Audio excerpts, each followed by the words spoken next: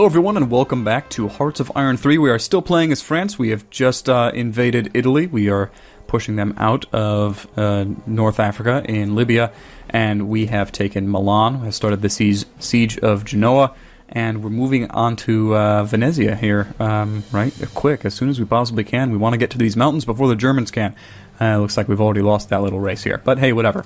Um, we ran into a little bit of a snag here in the province of Pinerolo where our troops were moving at, uh, I believe it said like 0.03 kilometers per hour, and I just did the math on that. That's about 15 feet per hour, or about 5, 6 meters per hour. Now I get it. This is like, you know, the mountains. It's huge mountains here and it was snowy and muddy and below freezing and slightly windy and all that stuff. It was basically the worst travel weather you can possibly think of in the most difficult terrain you can possibly think of, but 15 feet in an hour? Really? 15 feet in an hour, and we had like 100,000 troops stuck in that province. That is absolutely ridiculous. Who understands this game, right? You'd think there'd be a mountain pass or something through there. Otherwise, how could they build level 4 roads? Eh, whatever works. Whatever works. Doesn't really matter. Um, it is the middle of June 1943, and this was a semi-quiet month um, on the uh, on the in the terms of uh, of engagements in World War II. There were no real significant engagements. I mean, the, the the whole Eastern Front was a significant engagement. You know, I'm not trying to belittle anybody in any way, shape, or form, but uh, there was one engagement here in the Mediterranean in which uh, American and British troops took uh, an Italian island that doesn't even exist on this map. I think it was called like Pinarello, Pinarello, or something like that. They forced the surrender of about 11,000 Italian troops with a few German troops mixed in there. Um, and there was some uh, territory switching hands um, on the eastern front um, around the province of Kursk, I want to say. Or was it Kiev? I can't remember. Somewhere in this general area, there was some, uh, some territory changing hands. Um, over on, on, the Pacific front, um, the United States uh, in mid June began their uh, reconquest of the Solomon Islands, which Japan had not uh, even taken from Australia uh, in our game. Um, in uh, in this game, the United States has held on to Saipan and has retaken Wake Island um, in a in a little conquest there. Um, they haven't really done anything major. Um, other than that, they retook sorry, they, they invaded and took uh, the minor port province of, uh, of Mili from Japan, but other than that, it's really nothing spectacular. Um, they are still holding on to the capital of the Philippines over here in Manila, but it looks like they're rapidly losing the rest, and they're about to lose the southern island here. If they can hold them at Manila, um, behind this mountain, using the forts and the uh, the city, the urban modifier, they can probably hold out here for fairly long. But the the Japanese will probably be able to flank them get into these mountains and basically make it uh, really easy to dislodge them from the Philippines, unless the United States can get troops over there really quickly. Um, and that might be why they took Saipan and Wake Island so quickly, so that they can bring reinforcements over here. But uh, I mean, who trusts the AI to be that intelligent? Uh, we have kept hold of uh, French Indochina, which I am constantly, constantly surprised about. Like, why in the world hasn't Japan just come over here and taken this from us? This is providing us with a decent amount of manpower and leadership and a decent amount of resources as well. Like, uh, you really can't bet an eye at this. This is uh, three raw uh, rare materials per turn, and we only have a surplus of about 10. Um, I mean, we are trading about 15 away, but that's that's a decent amount. Um, we're doing just fine on energy, but we're trading for energy. Um, so taking away this uh, this four um, this uh, this three as well as uh, this two and this one would be really nice. Um, and this one as well. This is another unit of energy um, that would cut down on our ability to uh, to run factories. This is a significant amount of rare materials as well. We've got eight coming from this province here.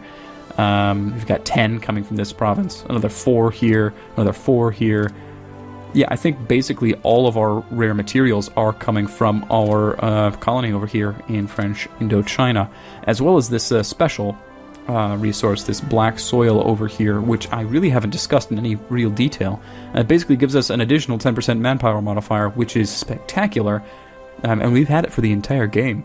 Um, so that bonus from uh, service by requirement and from our improved technology is further added by the plus 10% from the black soil. But France does get a uh, manpower malice, the uh, negative 30% population crisis to simulate the fact that basically every other country rebounded from World War One uh, in terms of population much quicker than France ever did.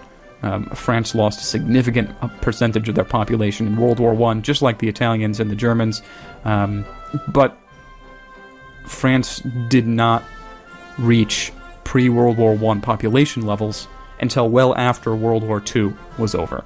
Uh, Germany uh, did fine. Italy did fine. Like in terms of population, they uh, they regained their population much faster than France did. So the game models that by giving us a negative 30% manpower penalty, which partially explains why we've been having so many manpower difficulties. Um, but since we've managed, and I mean we haven't really worked at all to to really do this in any significant way, but we've managed to keep this uh, this province of My Tho over here. We have this black soil, which uh, sort of only brings that down to a negative 20% penalty. But hey, uh, let's not spend another uh, 20 minutes talking about the game. Let's uh, let's actually you know jump into playing it here. So we are attacking in this direction, attacking in this direction. Um, we are preventing this Slovakian division from being useful um, in attacking our unfueled, armored, mechanized brigade here. We've begun the attack on Genoa. Let's just uh, let's just unpause. We'll see what happens here. Uh, we are still pushing up down here on the Italian front, and oh right, we redeployed our fleets over here. Um, okay, so they have a significant amount of units over here. Uh, I think it would be best for us to park our main battle fleet right here, and then set this fleet on a patrol over in this general direction, just so that we can cover our bases out here. They do have convoy raiders. Um, whoa, 10 of our convoys was sunk in that province. That's fairly significant. Um, we can also, let's see, are they? Yeah, we have a we have a an enemy aircraft right here. They are fighting us in the air, so we'll put our multi rolls on a air intercept over northern Italy here, and we do have two tactical bombers which we will just use as a uh, oops, as a ground attack over this northern Italian front. So they'll support our uh, our advancing soldiers. And yeah, we're just gonna let the let the advancing soldiers advance, I suppose. Um, as soon as we get more. Oh, we lost Djibouti down here. Yeah, we, we expected that. I'm not too worried about that. It doesn't give us any bonus at all. No manpower, no leadership, no resources. It was just a port down here, basically on the way to uh, to our Indo-Chinese country uh, colony. Excuse me, but uh, it's really not that necessary anymore. Hey, we pushed them out of here, and by we, I probably mean the Soviets actually pushed them out of here. But we'll make an effort to get into this province first, um, just to deny the Soviets that province. And it looks like we pushed them out of this province as well. Sibiu? No, not quite. But soon? Now we have. Okay. So let's move that entire stack up. We'll move these units up as well. And we'll move these units up as well. And, and this was a attack just to get this unit into this province on time, if I remember correctly. Um, it looks like if we keep it up, we'll actually push them out. I think we're going to keep it up. We're going to fully commit to this attack. Um, so, in so doing, we need more infantry on the front line.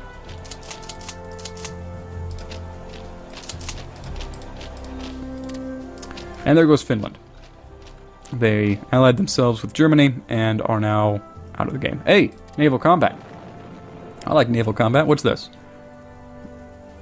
Oh, we're supporting okay, um, it looks like what happened here is an Italian um, uh, anti submarine squadron found our submarines, and then a British squadron found the anti submarine squadron. So our submarines are helping the uh, the British fleet destroy um, an anti submarine warfare squadron. Oh, they had a squadron of transports in there too. So yeah, um, three free Italian ship deaths, I guess. Um, um, okay. It looks like we are losing the air war yet again. We haven't really invested too much in our air, our air power. So I'm okay with losing the air war. Like, I'd, I'd, obviously, I'd prefer it if we didn't lose the air war, but I can understand why we're losing the air war. Um, we're going to redeploy our tanks down in this direction because it's foolish to have tanks doing uh, doing any actual attacks in the mountains. That's just foolish. And I think we're going to redirect U units to move um, north of this lake. And I wish it told you what lake it was, but we're going to defend around Lhasa and Ala over here. Ayla? Ala? I don't know. Now let's see if we can get a little nice little surround. Ah, okay. As I was saying, let's see if we can get a nice little surround um, around this militia unit. See if we can remove it from the game. That'd be nice. More air combat. Our airplanes are getting beat up, so we're going to bring them home. Stop that. Stop that. Yet again, I don't think we're keeping up with the German Air Force in terms of upgrades or fighting combat ability or anything of the sort. Which is unfortunate, but really, it's to be expected. And yeah, it's interesting that the Bulgarians really aren't helping us at all. They've just completely redeployed their entire army to the Greek border. Uh, I guess they don't really uh, see the Germans as a threat anymore, now that we're taking care of them. We did get to this province before the Germans and Hungarians did, um, and it looks like that one unit of British Marines valiantly holding the mountains um, until reinforcements arrive. Um, it also looks like the Germans have reinforced this. Yeah, okay. So let's do a as soon as you can, which isn't that far away. Let's do a support attack with you, and we'll move you and you into this province as well. Should be fine. And while we're pushing up there, let's uh, not use our weakened units, but we'll use our good ones. This is hills, so we can afford to use our tanks in attacking here. Um, these are some pretty tough fights. Uh, we're going to win that one just fine, but Genoa is going to be expensive. Um, we do have a surround on it now, though. Well, a minor surround, so we might as well attack it from both sides. This is just a militia unit, and since we have troops, uh, sorry, ships stationed out here, we're getting a nice uh, bonus from our shore bombardment.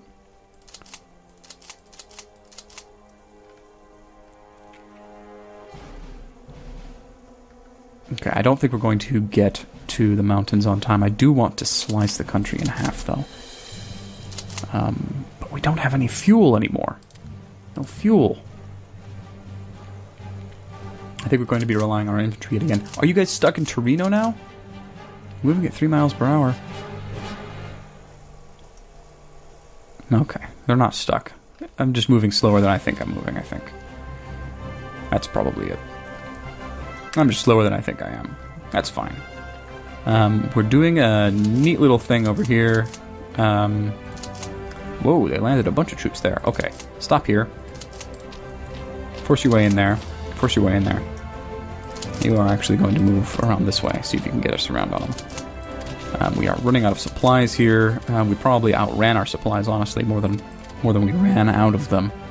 Um, our fuel is running remarkably low, but it looks like we somehow got a significant amount more of uh, crude oil. So we're going to throw a lot of our industrial capacity at supply production and reinforcement, which is going to stymie our armored unit production, which is unfortunate. But once again, the army we have much more important than the army we want to have. And they've retreated from Genoa. Wonderful so we can stop you. I mean, we're not going to catch them, unfortunately. Um, and I really want to slice this country in half. So let's move down. Oh, you're out of fuel as well. Just sit there for a bit. I think we're going to need to rely on infantry a whole bunch because we just like our supply network doesn't seem to be able to catch up in terms of fuel to what we actually need, what we actually require. Um, I'm going to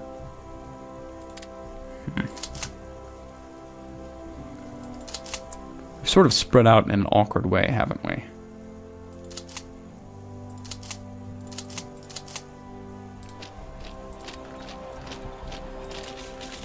Okay, these tough fights are going our way. We're about to push the Germans out of this province, I think. They just retreated from here. We're moving into here. Moving into here. We might as well move into here as well. Just attack with everybody across the front. There is a 10% stacking penalty. I guess let's uh, let's take that third armored division out. because you're pretty weak. We'll let you regain your organization a little bit. Still a 34% fight. They've got a very skilled general. Our general isn't that spectacular. Um, maybe we can expect uh, Russian help? I don't know. But we'll get the flank on them here fairly soon. We've already pushed them out of this province, so we'll be able to help in a, in a supporting attack without too many problems. We're almost, almost all the way through the old country of Romania. Like, we just. We attempted to hold the line along these mountains, but we've finally pushed beyond the mountains. I believe these are the Carpathian Mountains. I could be wrong about that. I know these are the Alps, but hey, whatever. Geography is not my 100% strong suit. Naval combat in the Ligurian Sea. Looks like transports. Looks like dead transports, yep. We are being attacked? This one is worrying. You're defending against uh, German Panzer Division commanded by von Manstein, which is dangerous. Um, move up in this direction. That's more important right now. We took Genoa. Let's push south.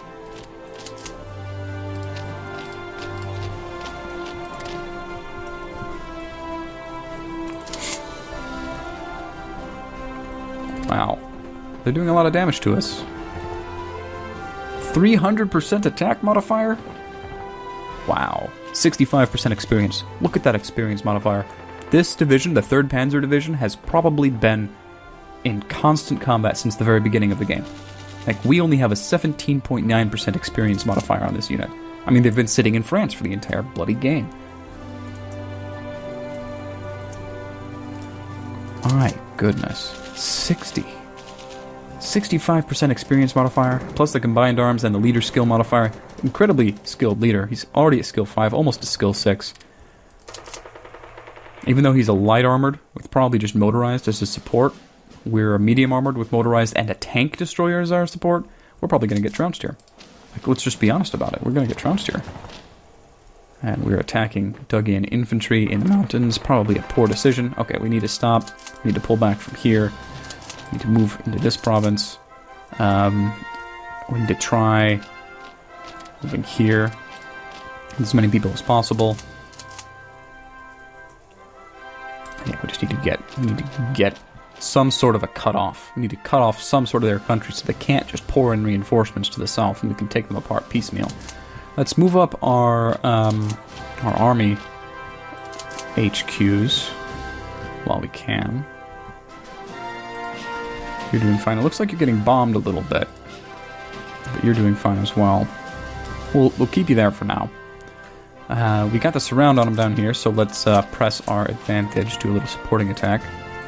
Unfortunately, you have no supplies and no fuel. Why is that? I mean, only three only three infrastructure. Honestly, down here is one region where cavalry might actually be useful. Silly as it sounds. Because they just they take so few supplies. Alright, we are being counterattacked rather heavily here, but it's just our advanced divisions being attacked by let me guess, much more skilled. Yeah, 40% experience, quite, quite the combined arms advantage. Really, they're just there to delay the Germans until the rest of our troops can get into position. So yeah, move in. Move into position. Push forward. Well, not yet. Okay. Basically just brute forcing it, I, suppose. When will you get there? Oh, you already got there. Wonderful. When will you get there? 20th of June. Okay. Now they just need to get to the front lines. There we go. Wonderful. Now it's still going to be a little bit painful, I think, because these units are just so good. Yeah, we just got pushed out of Sinsu. Or Kinku? I don't know how to say it. But our infantry are still advancing. They'll be there on the 20th. Killed more Italian ships. Wonderful, wonderful news. Speaking of, it looks like the Germans did manage to get a heavy armored division into this province. Are we attacking them in Verona over here? Yes, we are.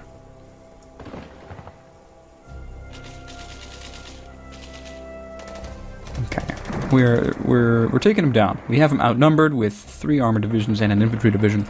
Um, these are relatively inexperienced troops, unfortunately, and they're you know squaring off against very experienced German troops. Um, I mean, it's much the, the, same problem that the Soviet Union's probably having, and that the uh, the Americans are probably having against the Japanese, who were, did fight a rather large war over here. Um, oh, and the Japanese are also at war with the Soviet Union, apparently. I guess I neglected to say that. It's relatively important. They've already pushed the Soviet Union out of uh, Vladivostok and are pushing into. Um, well, it looks like they're pushing into Mongolia over here, and they're going to start pushing uh, through Kamchatka very soon. Interesting. I can't tell if the Soviets have finally been stopped by the Germans or if just the advance has slowed a little bit. I mean, basically, we've got one front, two fronts, three fronts, four fronts. I mean, you might you might combine this front with this front if you just want to stop at four, but this is basically a fifth front. Um, this front's been completely taken care of. The Germans need to divide, the, divide their attention and their army so many directions, so many places. It's a wonderful thing. It's a wonderful thing. Okay, so we have been pushed out of this province. And are we trying to take it back? I don't think we're trying to take it back just yet. We are running short on supplies, being attacked in Modena over here by units from that province, which I suppose is fine. Keep moving down. Move over here. And move over here, I guess. No, you're gonna you're gonna be the southward facing. It's stormy. Really bad weather.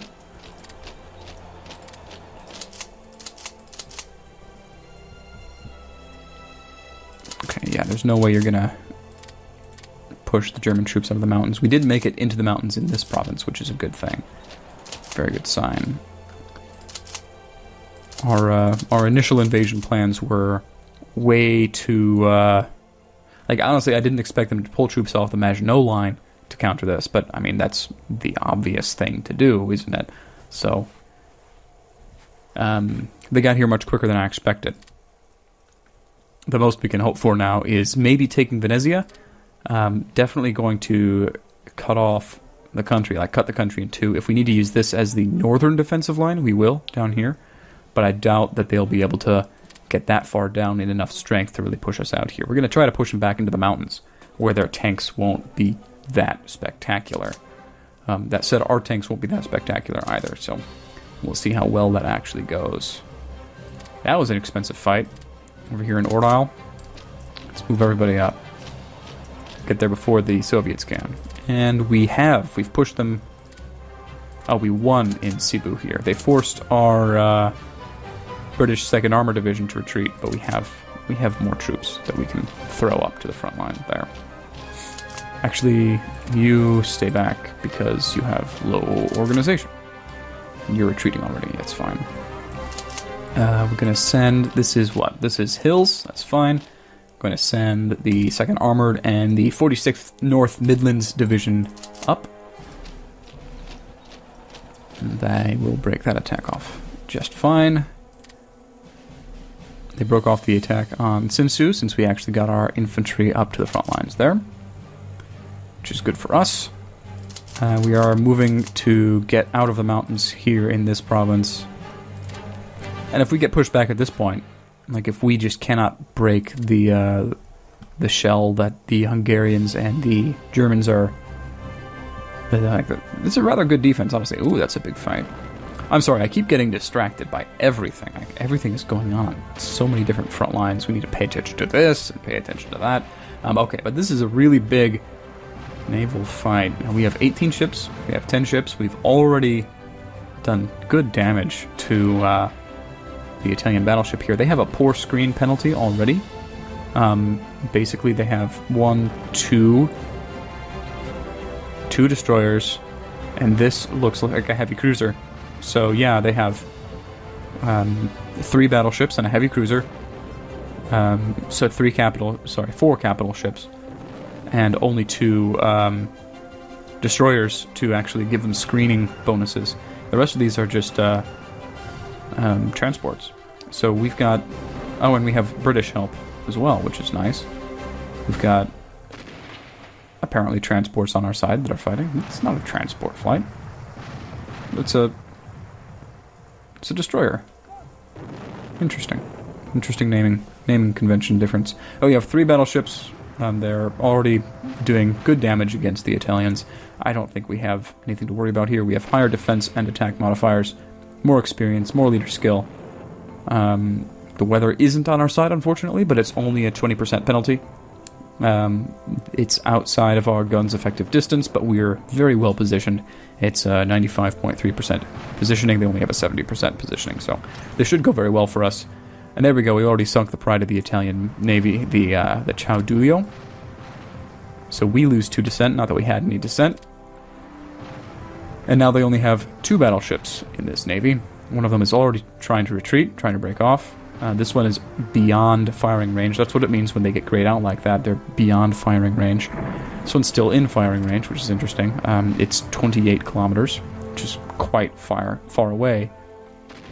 Um, but we are still within one kilometer of our target, uh, so we can still fire, and we did. Uh, but they got far enough away, so they are out of the battle. Uh, they lost a battleship uh, two destroyer squadrons and two transport squadrons. So all in all, good fight for us. We didn't take too much damage. One of our light cruisers, that was a light cruiser. It wasn't a, a destroyer. The the, the Joan of Arc. It got down to about 60% hull strength, but uh, but that's fine. Uh, we took uh, and Genoa, and we're going to continue our advance here. Um, I don't actually want you to be attacking into that province. I do want this province to be taken, though. So yeah, along this this little line here, um, I'm going to redeploy you guys. We want one here, one here, and the rest of you to come down this direction. Um, yeah, you guys, we're going to repurpose you as well. Just move into a province that makes you useful yeah, move down to the south here. You're just going to stop right there. Might as well move on to Pisa and uh, Pistoia. Actually, move all the way to Firenze, and we'll have you move into San Marino. And you can move to Forli and move over to Rimini, which is in the hills. That'll be a nice cutoff right here with those four provinces. And then we can move units down as we need them who uh, pushed him out of Vizcaya. Sorry, Viskenza. And I would love it if we could push into Padova here and cut this heavy uh, uh, heavy tank off. But they are doing a counterattack here, and I'm not sure that we'll be able to push them back in time to allow our units to move. Won the Battle of Verona. Yeah, okay, they're retreating. We might be able to get there in time to cut them off. Heavy tanks don't move very quickly. Um, you are going to move over here to Padova, though. Do it just fine, do it just fine. Um, all of you are moving to Ferrara, which is sort of silly. Um, one, two, three, and four, five, and six. Sounds good. Okay, our invasion of Italy is going fairly well. It's not going as planned, unfortunately, but it's going fairly well. Um, you are a little bit weak compared to the rest of my stacks over here. Moving up.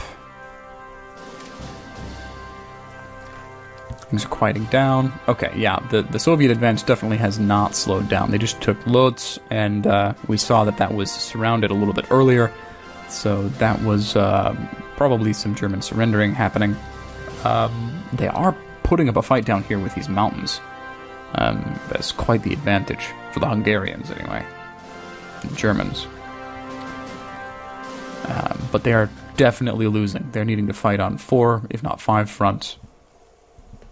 Uh, we did this round down here. We're finally able to attack with this unit because they got some supplies. Um, the more... I mean, let's push these units back if we can. didn't we have another? Yes, we did. We had another motorized corps. Move you up into here. Can't move there. So yeah, this is the uh, choke point here. It's also all desert. Did I ever research the uh, desert warfare? I did. I just didn't research jungle. Yeah. Or marine infantry or airborne infantry. we have more than enough marines from the British. Love to start just running right by and taking as many Hungarian provinces as we can. Let's double check our um, war goals. Need to add a install democracy war goal in there. Uh, Italy, Italy, Italy, Italy. What's your flag look like, Italy? There you are. Uh, can add a new one on the 1st of July. Alright, we're still in the middle of June. Going slow, going slow. You need to sit out for quite a while. You got beat up. Pretty bad. Doing a little counterattack up here. It's fine. We'll let them use their organization on that, and then we'll do a uh, an attack from from up here. It's fine by me.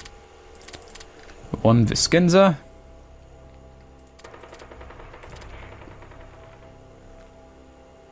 Hmm. Okay, that was just our advanced division. Okay, that's fine. That's fine. Can't really complain when our advanced divisions get intercepted. That's sort of what they're there for. So yeah, keep moving keep moving south. Keep pushing south. You are going to keep pushing south as well. Um, this is going to be an interesting little combat up here. Padova. How are we doing? Not too, too hot. We'll move two of you down here and you up here. I actually don't want you to push into Treviso, I don't think. We want to slow down a little bit, sort of corral the Germans in the mountains. Uh, there are far too many units here. Let's grab a tank, move them out. More morale for our uh, support divisions, which is always nice. We're still really lacking because I completely neglected uh, Schwerpunkt up here. Um, and we do want this as well breakthrough chance and masterful breakthrough chance really isn't that spectacular. Really, the only reason we're doing that is for the spearhead doctrine.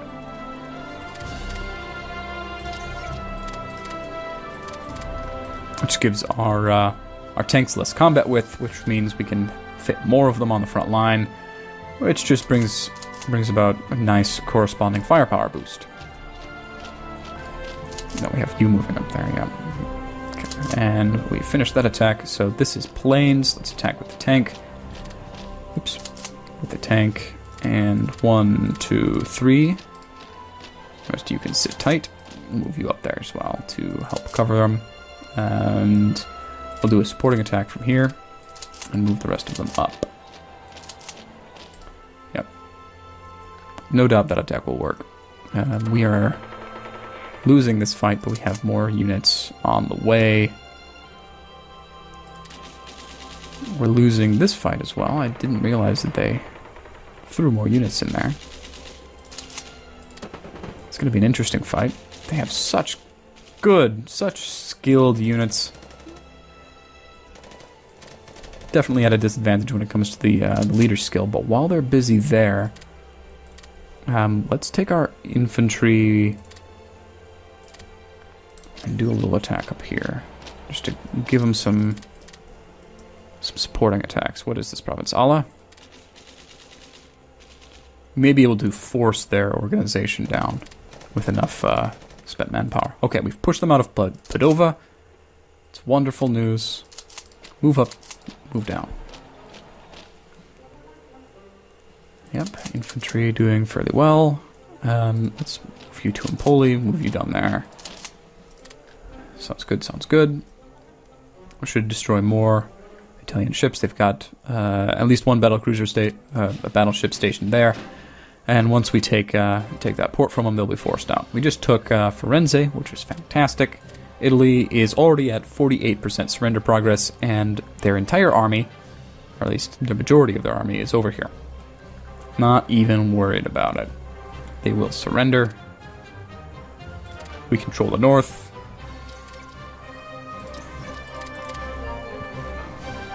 Uh, let's see, how many how many victory points have we taken from them? We've got 7, 14, uh, 19.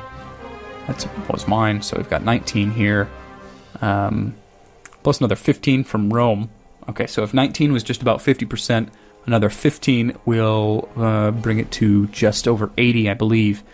Um, so that would mean taking just Napoli would force a surrender, um, or Venezia would force a surrender. So if we can take uh, Venice and Rome, that might be enough to force a surrender. And if it isn't, it isn't that big of a deal to just force our way down to uh, to Napoli.